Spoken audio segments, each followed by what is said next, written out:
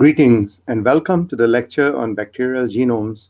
This lecture has been introduced into your course on molecular biology techniques 2 in order to familiarize you with the concept of bacterial genomes. Now, bacteria are used as model organisms in molecular biology. They can be utilized for conducting gene knockout experiments as well as for the expression of proteins or recombinant genes. And they have found application in molecular biology as model organisms. Now, in this lecture, we will be exploring the role of bacterial genomics and genome sequencing.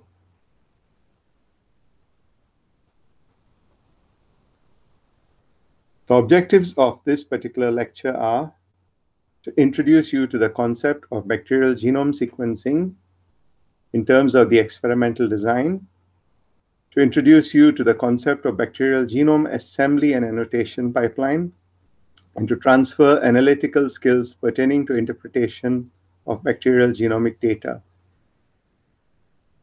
What this particular lecture aims to achieve with respect to learning is as follows. Firstly, we'll be introduced to you to the concept of bacterial genome sequencing and the manner in which this is conducted in terms of experimental design. We will explore the procedure in a step-by-step -step manner. Subsequent to bacterial genome sequencing, we have to proceed into what is known as genome assembly and annotation. So I will introduce you to the basic pipeline. And the final step in this lecture, which you will conduct in the bioinformatics facility or on your personal bioinformatics platform, is the process of conducting the entire experiment from assembly to annotation in terms of the bioinformatics.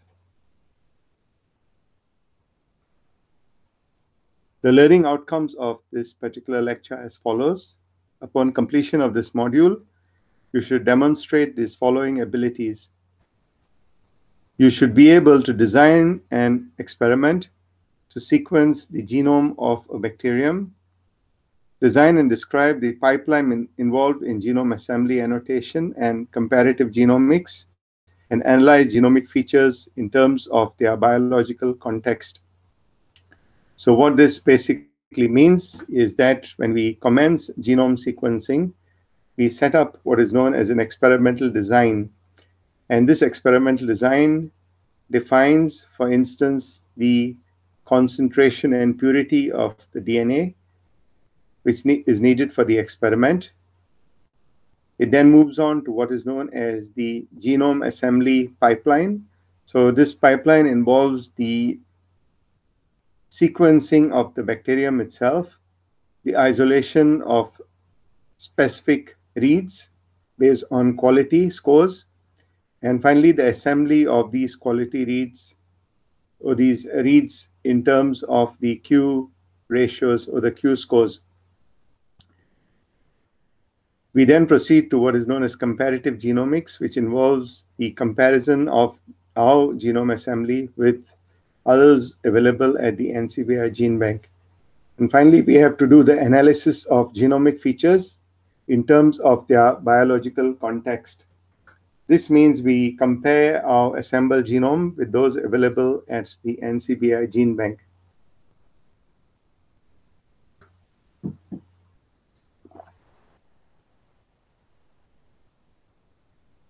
These are the content of this lecture, and I will describe them in detail.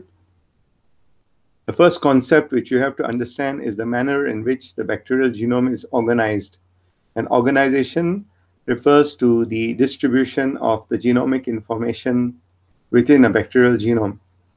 In general, bacteria comprise a circular genome along with a linear genome as well, and maybe a set of plasmids. And each bacterium has a unique genome organization. For instance, Agrobacterium tumefaciens has a linear genome in terms of a plasmid, a circular genome as well as virulence plasmids. The next step or the next content in this particular lecture is the experimental design for genome sequencing projects. I will describe the process of experimental design. We will then move on to library preparation, processing genome sequence data, analysis using specific tools, and one of the most useful tools, which is the rapid annotation using subsystem technology or the RAST tool. And finally, we move on to the in vitro validation of assembly. So as you can see, microbial genome sequencing involves multiple steps. You first have to extract the DNA from the bacterium, and this DNA must be sufficiently pure as well as free from other contaminants. It is very important that your bacterial genome sequence or the bacterial DNA be free of contaminants. and for this reason, you need to have what is known as an axenic or a pure culture. The pipeline for the experimental design refers to the bioinformatics tools which you will be utilizing to sequence your genome and to analyze the information. And finally, you have to annotate your genome. Annotation refers to the procedure of identifying genes or other genetic elements or genomic features by using specific tools. In general, the genome consists of RNA as well as protein coding regions. And there may be elements such as CRISPRs, which are involved in bacterial host defense. Finally, the step pertaining to validation of assembly involves the use of the polymerase chain reaction in order to validate what you have done in terms of the bioinformatics. What you should remember is that bioinformatics is a statistical process and the assembled genome may have certain inconsistencies when compared to the gold standard or the true genome. Let us begin with the first step, which is genome organization. Now, bacterial genomes are organized in terms of their basically the manner in which the genome is organized is the circular chromosome. We have plasmid DNA and we have linear chromosomes. Now, all of these features are visible in a bacterial genome. I will briefly draw it to draw it for you so that you can understand the concepts. So when we have a bacterium, the bacterium consists of a cell wall and a membrane, and within this are enclosed the genomes. So the bacterial genome is organized uh, along a circular chromosome. Now, bacteria do not have a specific container for this particular genome. There is no nuclear envelope. So the genome resides as a circular entity within the bacterium itself. There may be linear chromosomes, and these linear chromosomes may be present in single or double copies within the genome. And finally, you have the circular chromosome, which is the plasmid. So the plasmid is basically a self-replicating unit which exists independently of the main genome. So this is the basic organization. However, not all bacteria will contain all of these elements, but they will contain the single circular large chromosome. The plasmid may be present in multiple copies and there may be multiple types of plasmids. And these plasmids are generally associated with certain characteristics such as antibiotic resistance. Uh, then you have the degradation of steroids, for instance, which are harmful for bacteria, as well as metal tolerance. And plasmids are acquired via the process of horizontal gene transfer. So these plasmids, such as resistance plasmids, may be acquired from other bacterial species which are residing in the environment. So there can be a transfer of plasmid. So you have a secondary bacterium, it can transfer its plasmid into a bacterium which is, is in close proximity with, and these plasmids in turn can be transferred across bacterial species. And this process is known as horizontal gene transfer. Now, when you analyze a genome and you want to sequence a genome, you must be aware of the different elements of the bacterium which is or which are present in a particular individual. So what we generally do in the laboratory is we prepare what is known as an axenic culture. We will isolate a bacterium and we will purify it and obtain a single colony on a plate. And at this stage, we then increase the copy number of the bacterium using liquid culture media, following which we purify and extract the plasmid DNA as well as the genomic DNA. As you may be aware and you, as you have learned in molecular biology techniques one, plasmid extraction is done using the alkaline lysis mini prep and genomic DNA extraction is done using conventional genome extraction methods. So when you run your gel, or basically when you resolve your DNA on the gel, you will see, for instance, when you have your DNA, you will see a single band at the top of the gel. So this is from DNA extraction. And when you run your plasmid DNA, you will see three distinct bands. So these represent the different states of the plasmid, which are the linear state, mixed circular, and the supercoiled state of the plasmid.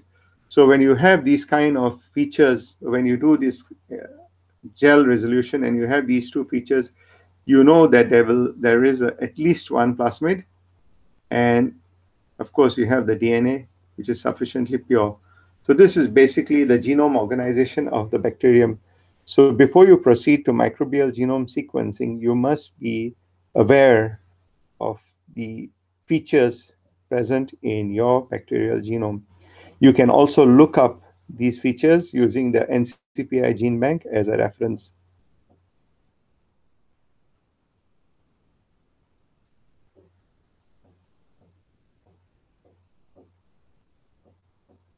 So now uh, we move on to the ribosomal RNA. So ribosomal RNAs can be utilized to validate your sequence integrity. As you know, the bacterial genome consists of ribosomal RNAs, and these ribosomal RNAs are present universally. And upon completion of your genome sequencing, we generally use a tool such as RNAmmer to look for these microbial RNAs. And if your RNA is present in your final genome assembly, you can be certain that your genome has been sequenced to completion. Okay, so this is the question which we generally ask during the course of this lecture is how can you apply RNA prediction to validate the integrity of your genome sequence data.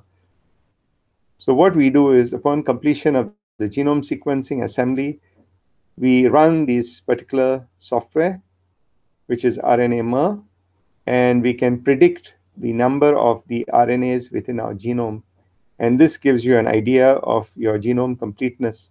For instance, if your RNAs are not according to what is predicted based on other genomes which are complete, then you may have to relook into your genome sequencing data and resequence your bacterial genome.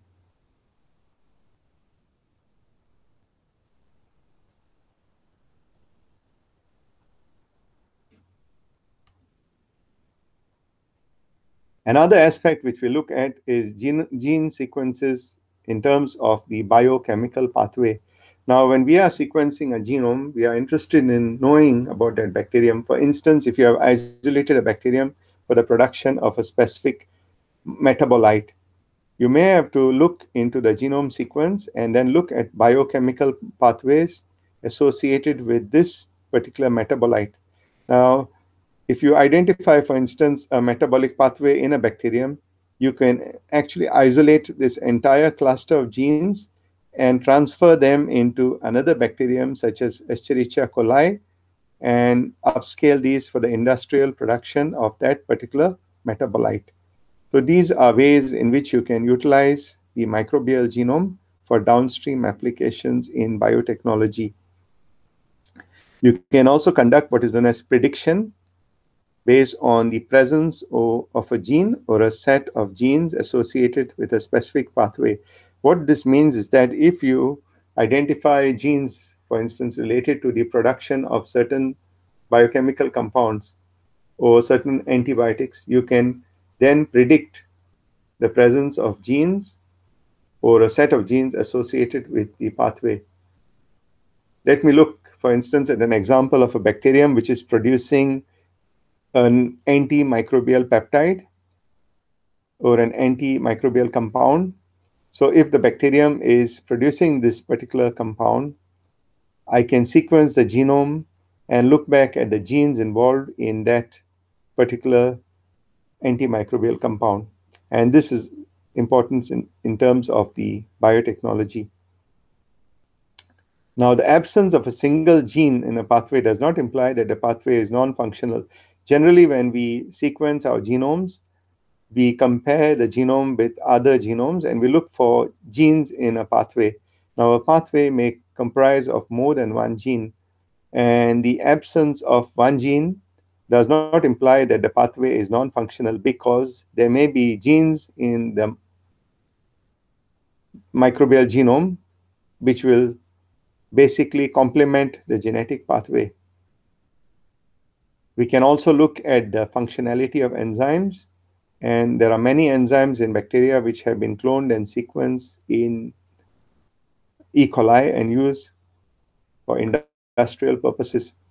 And there are also some functions which may be unknown at the present time. This means when you do genome sequencing and you compare them with existing genes with known functions, some of the functionality may not be predictable because these genes have not been reported earlier.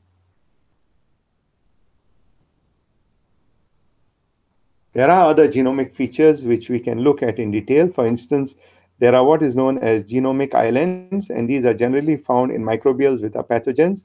And these genomic islands are present in the genome, and they consist of multiple sets of genes. For instance, if you look through a graphical depiction, you'll find multiple genes associated with the pathogenicity, and this can be related to the production of toxins. So you'll have a cluster of genes, and these genes may be related to the production of toxins as well as the transport of these toxins.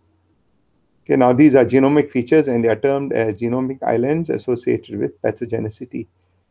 We also look at secretion systems, and this is also of the relevance in terms of the medical microbiology. So bacteria have what are known as secretion systems, type 1, type 2 secretion systems. And these secretion systems are involved in the transport of toxins from inside the cell into the outer space. And if you have enteric pathogens, or pathogens which inhabit your gut, the presence of secretion systems may be related to their toxicity. We also look at CRISPR, and these elements are involved in the defense, microbial host defense against bacteriophages. And we look at what are termed as recombination sites within the genome in case you want to conduct a genome insertion experiment. A recombination site is a site within the genome. For example, you have your bacterial genome. There may be sites where a plasmid can integrate. So these are called recombination sites. So once the plasmid recombines with the genome, the plasmid material is transferred into the genome itself.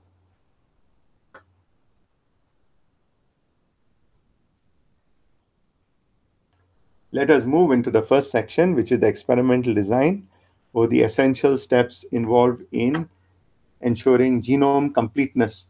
Now, what is very important to note is that once you conduct your genome sequencing experiment, your genome must be complete. So in order to ensure genomic completeness, we have to adopt or implement the following steps. Let us look at the basic experiment design for NGS. For instance, a bacterium has a genome size of 4.5 megabases. Now, how do you know this? We simply look through the NCBI gene bank where you have thousands of genomes. For instance, if I have Pseudomonas aeruginosa, I've looked through the NCBI gene bank and find the approximate genome size based on the experimental data and the genome sequences available. Now, at the NCBI gene bank, you may also find what are known as gold standards. These are microbial genomes which have been sequenced using multiple platforms and they comprise of both long reads and short reads which are assembled together. And these genomes are very accurate or precise. Okay so assuming that you have a microbial genome size of 4.5 megabases and your sequencing platform which we generally use for small genomes is a Illumina HiSeq or the NextSeq PE150 which sequences the genomes in terms of 150 bases.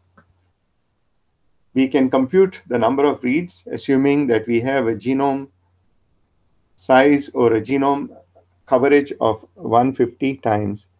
So when we use a Illumina sequencing platform with a paired end 150, we basically multiply this 150 with the number of megabases and we assume that 20% of the reads will not achieve what is known as the quality score of Q30. So when we compute all these, we can basically multiply 4.5 megabases by 150. Okay, and then we add an additional 20%. Now you should conduct this exercise as a part of your learning process. So multiply 4.5 megabases with 150 times, you multiply it by 150, and you add 20% of the reads. And the number which you obtain will be basically the data output which you must request from your service provider or when you conduct your sequencing, you must obtain that particular data output.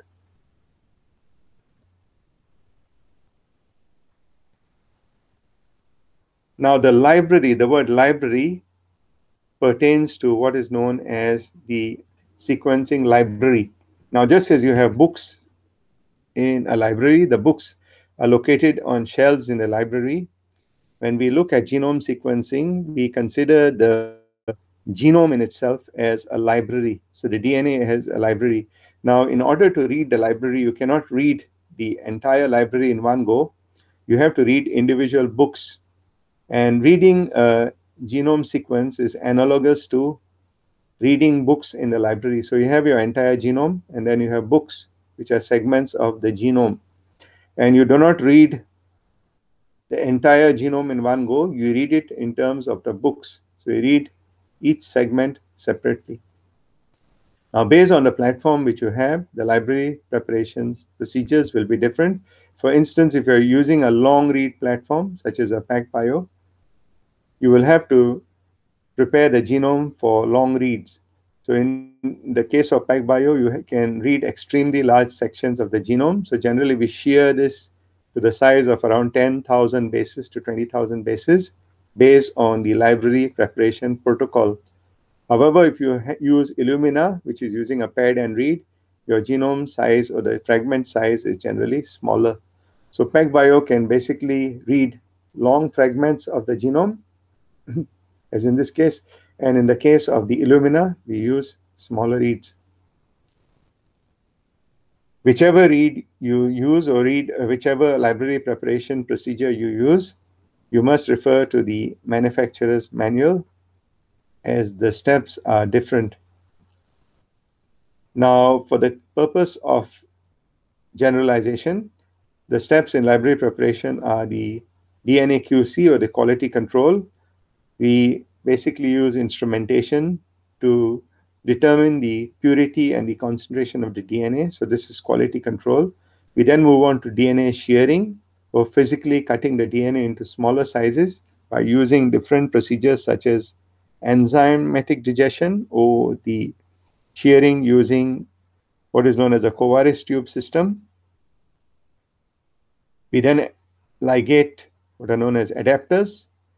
We proceed to library quality control. So we after we adapt, we have these ligators adapted to the ends. We move on to the library quality control, and finally we proceed to sequencing. Now all of these steps are done in the lab laboratory or in a wet laboratory, and they involve manipulation of the DNA.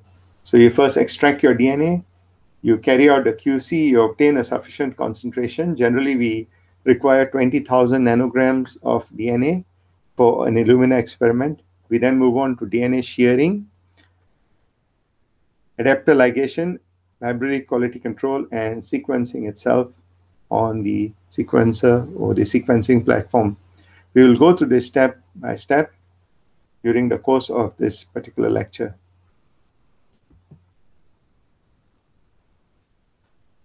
We then move on to genome assembly and annotation, which is the software that is used to assemble, annotate, and interpret genomic information. So when you commence with your genomic sequencing, we will basically go through the procedure. So you have your genome, which is a large circular chromosome. You will extract this genome and generally require 20,000 nanograms of DNA so you may have to do multiple preps in order to isolate this DNA. Subsequent to that, the genome has to be sheared. So what is done during shearing is that an enzyme is used to cut this genome. So the genome is fragmented into smaller fragments. Now, if we are using Illumina systems, we can use a preparation kit we have a Nextera preparation kit. This kit will cut the genome into sizes of approximately 200 to 300 bases. Now, when you resolve these cut fragments on a gel, what you will see is a thick band between 200 to 300 bases. And your genome will be basically, for example, this is the intact DNA. After shearing, you will see a band at around 200 to 300 bases and this will be your sheared DNA. DNA can also be sheared using physical procedures such as centrifugation or pipetting up and down through a pipette. However, this is not recommended as the DNA size will be uneven. Now, after you obtain this particular fragment, you have smaller fragments which are basically in the range of 200 to 300 bases. So this is how it will look. This is the 3' end and this is the 5 prime end. Now you cannot sequence this directly as there will be no way to assemble this together. So once you basically break up your DNA, it's like opening up a jigsaw puzzle box and messing it up. So you basically cannot obtain or you cannot know the fragments. For instance, you have your jigsaw puzzle and you have this fragment you have to find a fragment which fits into this particular puzzle. So you have to have a fragment which will be something like this, or else you will not be able to assemble the puzzle. Now, in the case of the DNA, in order to identify each fragment, we adapt, we fit what are known as adapters. Now, these adapters sit at both the 3' and 5' end, and these adapters consist of a known sequence We will explore this during your bioinformatics session in the bioinformatics laboratory. So these may consist of specific fragments and these are supplied by the manufacturer. Now, after you complete your genome sequencing procedure or when you want to assemble your genome, these adapters can be identified by the software. And they are basically like flags, just as you have your puzzle and you have your indentations in the puzzle. This particular fragments can be assembled later based on the adapter sequence.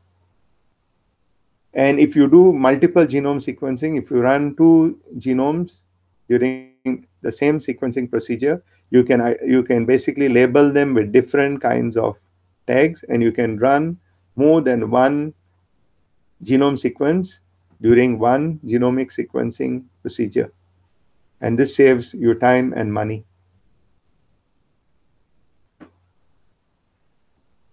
Okay, so once you have obtained your sequence from the sequencer, the sequencing data is in the form of what are known as the raw reads. Okay, so you have these raw reads. Raw reads are basically sequences with an approximate size of 200 bases, right up to 10,000 bases in the case of PacBio. So generally, an Illumina sequencing read will be around 200 bases. And if you have your PacBio, Pacific Biosciences, you will get a very large read of maybe 10,000 bases or maybe even 20,000 bases based on the library preparation. The first step involves the removal of the adapters. So this adapter is removed in silico or by the software, bioinformatics software, and generally we use software known as Trimmomatic. We have to specify the adapter sequence, and this software will basically remove the adapters from the two ends. Okay, we also move on to the assembly of the reads using a sequencing assembler. So we use Celera, Velvet, or Spades. Generally, this pipeline is set up in our laboratory using the CLC biology workbench. So all you need to do is introduce your raw reads or transfer your raw reads using a pen drive. So you transfer your raw reads. The software will proceed to filter the reads, remove the adapters, and assemble the reads. This is the first part, which is basically obtaining your genome sequence. The next part involves the annotation of the sequence. Annotation refers to the procedure of identifying genomic features. So what we do is we scan for the open reading frames, which encode genes, as well as coding regions and non-coding regions. We validate the completion of the genome assembly using RNAmmer, which is a software to determine the copy number of the RNAs within the genome. And then we proceed to similar, similarity searches using the basic local alignment search tool or BLASTN, and we do some graphical representation in cases where you want to publish your genome in a laboratory report or within a particular manuscript. And then we move on to specific feature identification using the software such as the RAST, which is the rapid annotation using software technology, systems technology, subsystems technology. So this is a software which is known as RAST, where R is the rapid annotation using subsystems technology.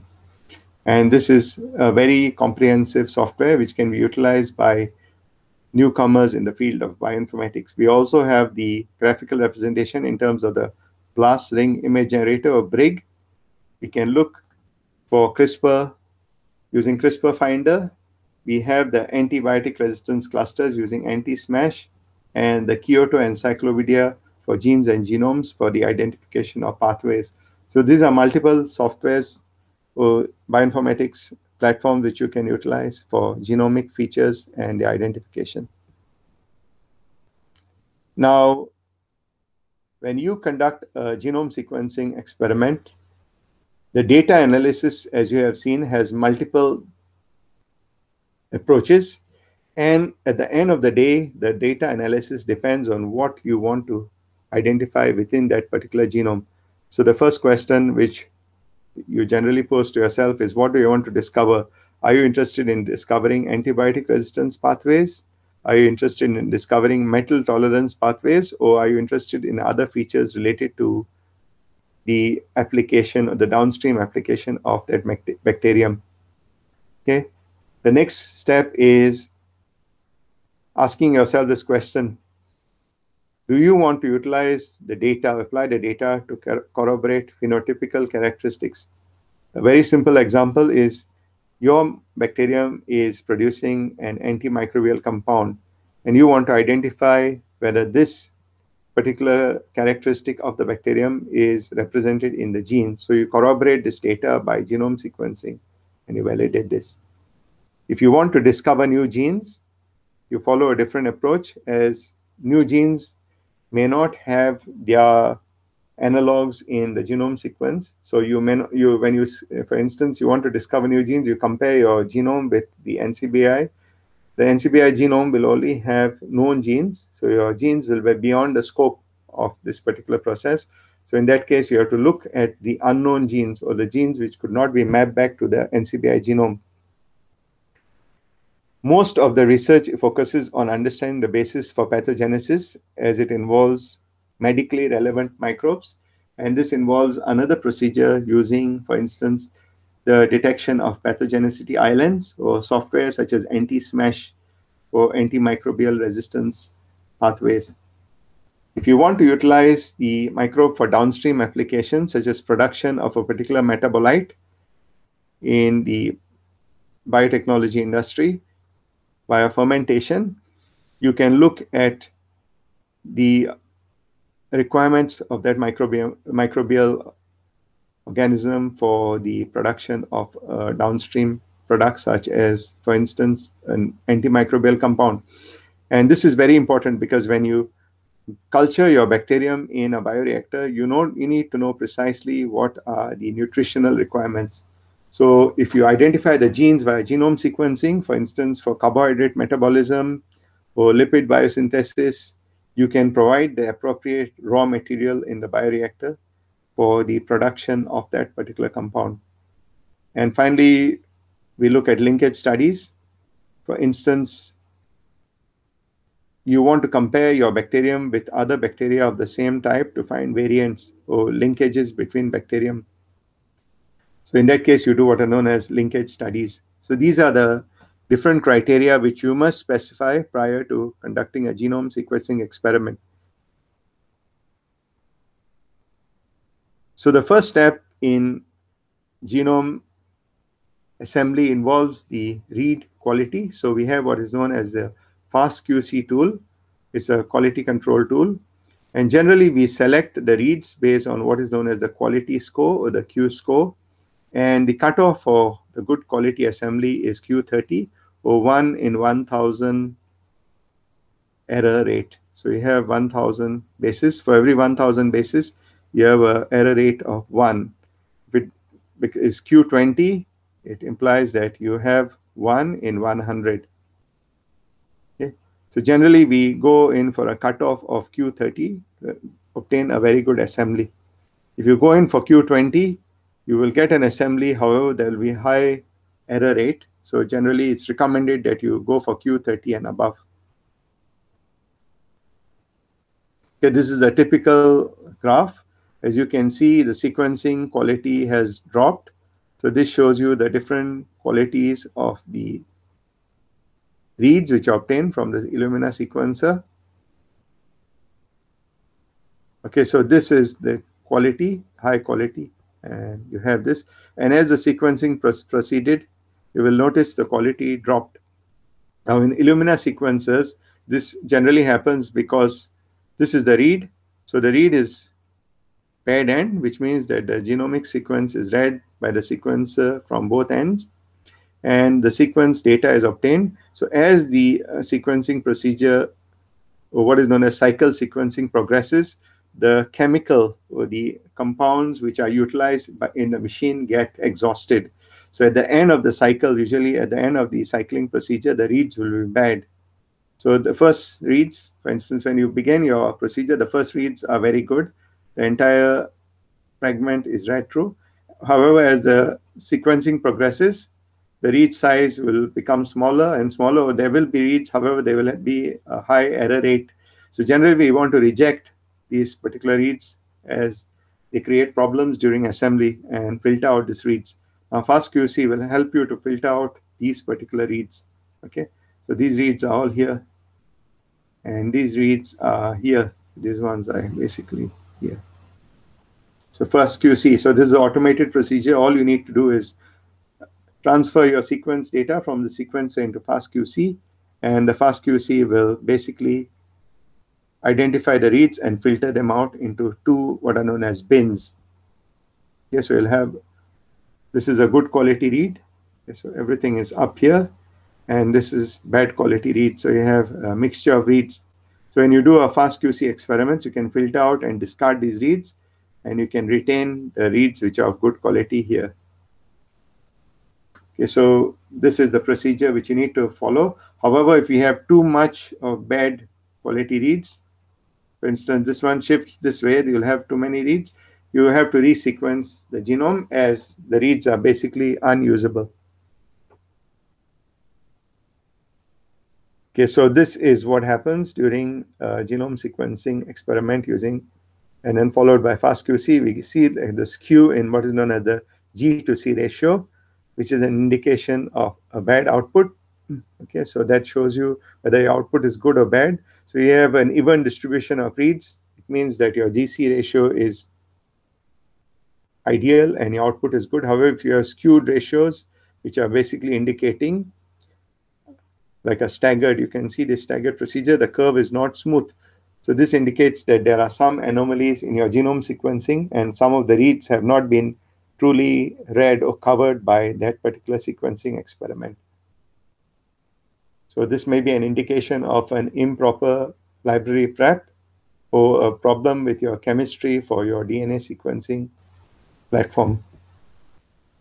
Okay, so adapter removal, as I mentioned to you, refers to the removal of the ends of the sequences which you have basically put into them to identify the genomic sequence information. And in this case, we use uh, software known as Trimmomatic, which virtually removes these adapters. So the Trimmomatic software is an in silico tool, so it will remove these sequences in silico as the sequence information is known. And what is obtained from this particular procedure is the raw read itself. So you obtain this raw read with which you then assemble the whole genome. Now you can assess the sequence for contamination using a tool which is known as Kraken. And what does contamination in bacterial genome sequencing actually refer to? Sometimes when you isolate bacteria on a plate and then you reculture them and you reculture them, there is a high likelihood of contamination. This is because symbiotic bacteria may be associated with your particular bacterial genome. And in this case, we have to assess for what is known as contamination. And a software known as Kraken, you introduce your genome, assembled genome or your reads into that particular software. Kraken will identify whether there is a microbial contaminant based on the 16S ribosomal RNA. Okay. And it produces what is known as a Krona plot. And a link to this software is given in your slides below. Okay, this is what a Kraken output will look like. So it will give you the spectrum of contamination in a particular sample. Ideally, you should only have one microbial genome when you sequence a pure or an axenic culture. So if you have too much of these indentations in your graph, if you have sectoring of the graph, it implies that you have contamination from other microbial genomes or even eukaryotic genomes. Okay.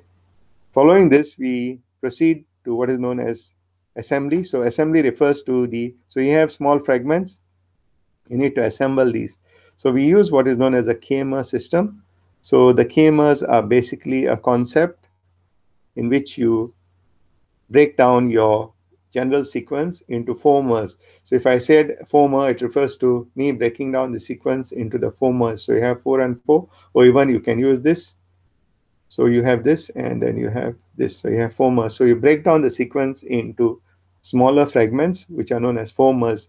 So please remember that as you increase the size, for instance, you have six mers, you have uh, basically to utilize more processing power in the software as it has to do multiple comparisons. So what a genome sequencer or a genome assembler does is basically after you give it the raw reads, from the sequencer, the assembler will basically look for common fragments in this particular genome. It will look for commonality, okay? And then it will assemble this genome based on the common regions of this genome. And it will create what is known as a contig, okay, based on these assemblies. Okay, this is a procedure known as the de novo assembly. De novo means you do not refer to another genome. And this has to be done when your genome is unique or novel. But if you have a genome which already exists at the NCBI GenBank, we can use what is known as a assembly against the reference. So in this case, I will show you what happens. So let us assume that you have a genome available at the NCBI GenBank. For example, you have Pseudomonas aeruginosa or E. coli. So you have your raw reads. So you obtain your reads from the sequencer and you basically map these reads to that particular genome. So you can map them. So you have a read, for instance, you have a read which is 150 bases, and this maps to this segment of the genome. You have under read and it maps here. So in this way, you use uh, existing genome to assemble your particular fragments. Now, this may not be possible in most cases as genomes contain regions which are unique and you may have certain fragments which do not map against that genome. In that case, you need to do an assembly using a de novo approach. However, this approach in which you use a mapping against reads is ideal as you have a reference and you can identify if your genome sequence is incomplete or complete. Okay, though, now we have different kinds of software. If you're using Illumina Reads, you can utilize the online platform and use something known as Spades for assembly. So Illumina has an app. You can access it online. It's called the BaseSpace app. And you can basically transfer your data from your sequence data into the BaseSpace app and utilize Spades for assembly. And Spades has multiple settings and it's a very ideal tool for people with no prior information of bioinformatics. So reads obtained from what is known as uh, from the single molecular real-time SMRT sequencers such as the PacBio sequencing platforms can be assembled using their own software, which is their in-house software, which is called HGAP. So it's based on another software known as Celera. So each uh, manufacturer or the genome sequencing system has its own specific assembly. Okay, so there are some of the most widely used assemblers, which are Velvet, ABySS, and SOAP de novo. Okay, these are also used, but however, you, in order to use this, you require a knowledge of bioinformatics. So when we obtain our sequencing output, the end product, it can be a single contig, which is a complete genome, or it can be in the form of multiple contigs. Generally, when you use um, de novo assembly, you will obtain more than one contig as the sequencing capacity of small read sequencers such as Illumina paired end sequencing does not allow you to assemble the whole genome. You may have to use what is known as a hybrid assembly, which involves two sets of data, one from a SMRT sequencer and one from Illumina sequencer. So with SMRT, you get a large sequence, and with the Illumina, you get small, accurate sequence.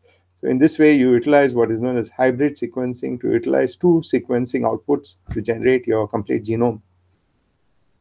Okay, for example, uh, I have shown you the presence of plasmids. So if your sequence consists plasmids, then you will have more than one contig. So you'll have your main contig, which will be large, and you have your plasmid contigs, which are smaller.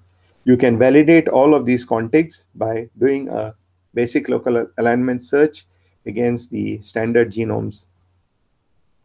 Okay, validation of genome assembly can be done in silico, as I mentioned earlier. Once you assemble the sequencer, you can utilize what is known as the basic local alignment search tool or BLASTN to compare it with known genomes at the GenBank. We can also use an in vitro approach, which involves the selection of a random region of the contig for validation using PCR. You have already learned about um, sequence analysis using BLAST, and you will have also learned in molecular biology techniques one about primer design. So what we have is our assembled fragment. We generally design a primer pair on certain regions of the genome, and then we synthesize these primers and we conduct a PCR to determine the validity of our assembled contig. The open reading frames, which are relevant in terms of the discovery of genes, is done using a software known as GeneMarks. All you have to do is transfer your completed genome to GeneMarks. And once you have your completed genome, the GeneMarks will basically scan through the genome. So what uh, GeneMarks does, it looks for start codons in the form of ATG or equivalent, and then it basically looks for the ORF associated with that ATG.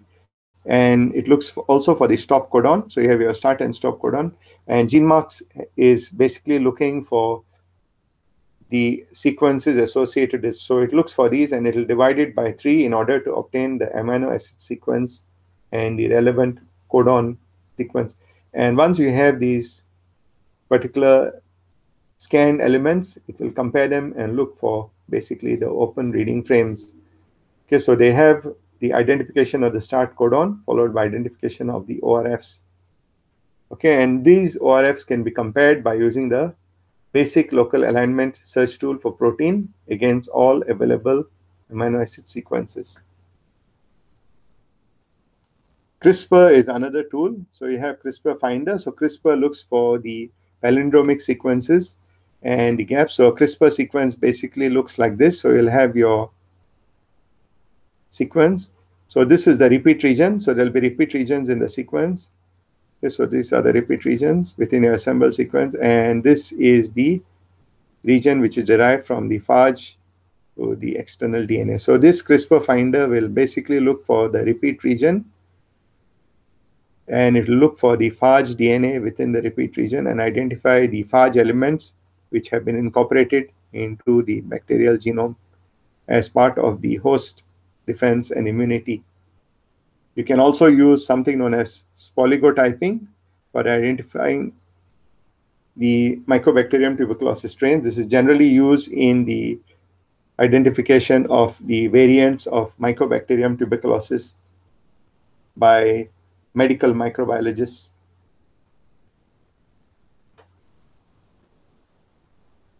Now, BLAST Koala and Ghost Koala are both annotation servers which will basically compare your genome and look for genes associated with pathways based on the KEGG, or the Kyoto Encyclopedia of Genes and Genomes Orthology. Okay, so what it means is that when you have your genome and you identified specific genes within the genome, the KEGG it can be basically utilized to link these genes to a specific pathway. So there are biosynthetic pathways within every genome, and these genes can be assigned to this particular pathway. In that way, you know what your microbial genome is actually attributed to in terms of production of the biosynthetic compound. For example, you have the non-ribosomal peptide biosynthesis pathway, which is based on polyketide synthase. So if you had these particular genes associated with that particular pathway, you will know that that pathway exists in your bacterium.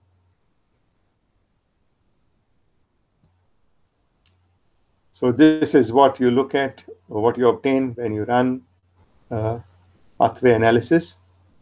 And it will identify all the genes associated with a specific biochemical pathway. Now, a dot plot is another very common comparative analysis, which is done when you have microbial genome sequencing. What a dot plot is a comparison between uh, your genome versus a known genome or your genome versus another genome which you have, may have sequenced earlier. Now, a dot plot is a comparison of the similarity between the two genomes. So what we see is basically a dot plot. So if you have a linear part, it means that A and B share a common elements or common genetic features at this particular location. However, if you have something like this or something like this, it indicates a genomic discontinuity. Okay, so you have a discontinuity which indicates a region where there's a gene polymorphism or a genomic element has integrated. Okay, so you can use software such as the RAST, rapid annotation using subsystem technology to generate a dot plot. Okay, this is what a dot plot looks like. So as you can see, there are certain regions which are not contiguous, they are breaks. So this may be indications of differences or inconsistencies in the genome or even recombination events. And some of the dots, as you can see, observed here are distributed across, and these are present only in this genome and these are present only in this genome. So this is a comparison of one genome with another genome. So you have Bacillus cereus, ATCC with a Bacillus cereus, which is assembled by you.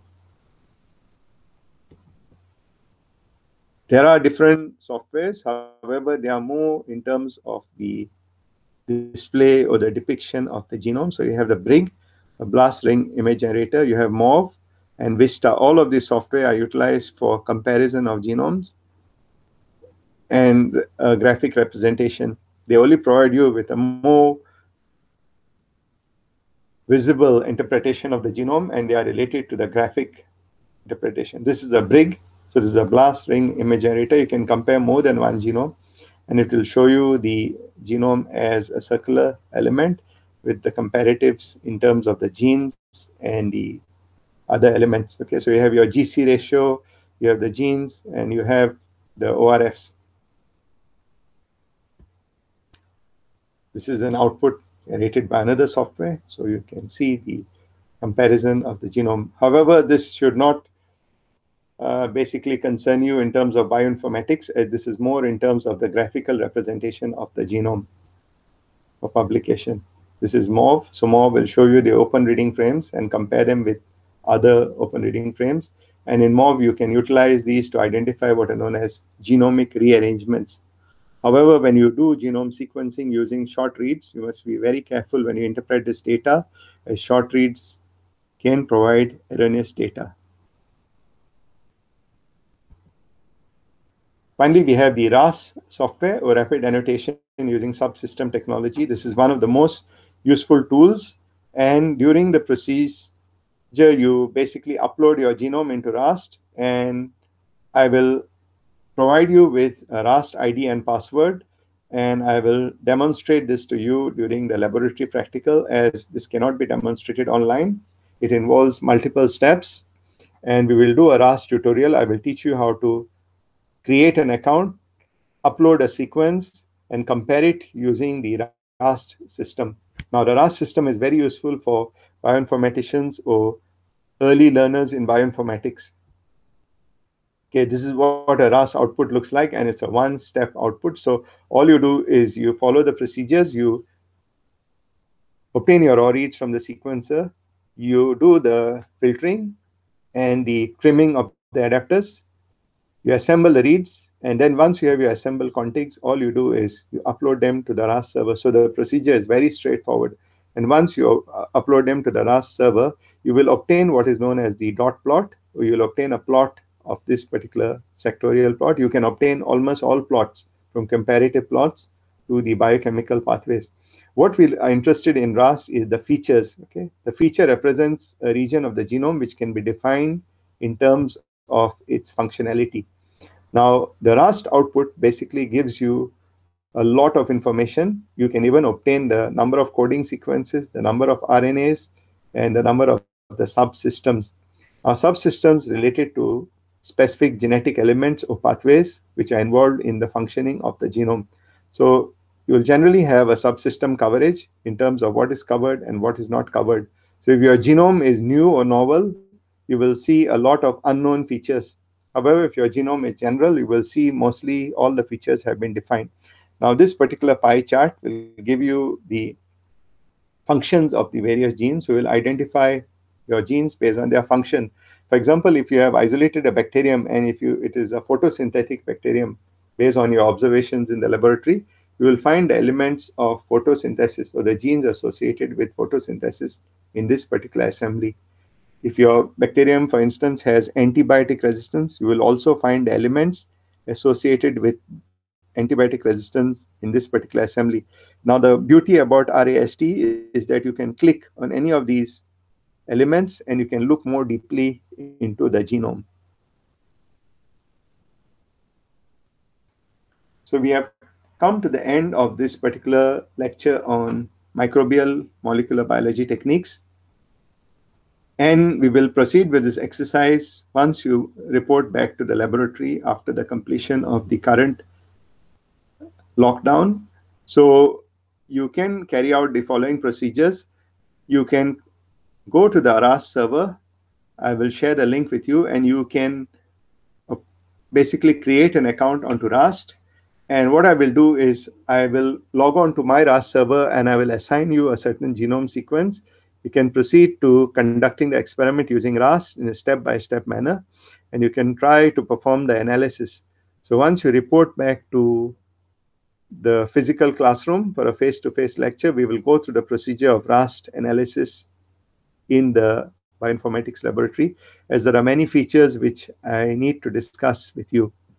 Okay, so to summarize, basically, when we commence with genome sequencing, the first procedure involves laboratory procedure, and the next procedure involves the actual sequencing, followed by the bioinformatics procedures.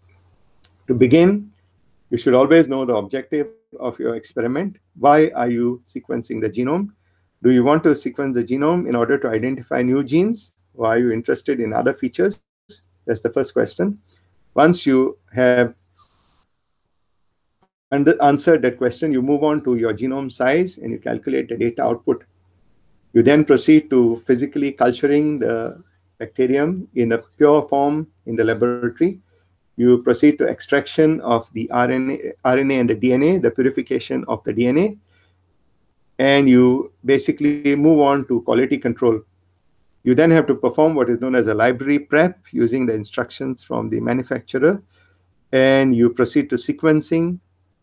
Once you obtain your sequence data, you proceed to purifying the data or basically filtering the data using uh, a FastQC you trim the reads using Trimmomatic, and then you proceed to assembly using any software which you require based on the read length, and you proceed to annotation.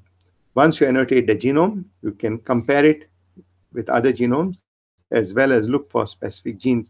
So this is basically what you look for when you conduct a genome sequencing experiment. So the objective of this lecture has been to introduce you to one component of microbial techniques, which is genome sequencing, assembly, and annotation. If you have any questions, you can post them in the forums in the Smart 3 learning management system. I will answer them by the end of today. Thank you very much for participating in this lecture.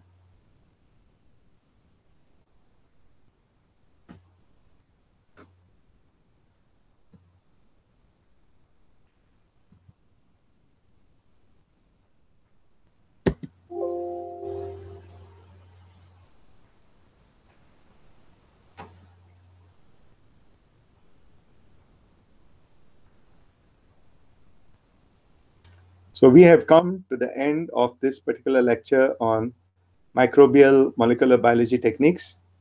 And I will upload this lecture into the uh, platform, the learning management system, so that you can download it as the bandwidth connection is relatively low and there may be a break in the live class. You can refer to the slides and post your questions in the forum I will then respond to your questions in the chat window and we will do a complete annotation and assembly once you return back to the laboratory. Thank you very much for watching and stay safe.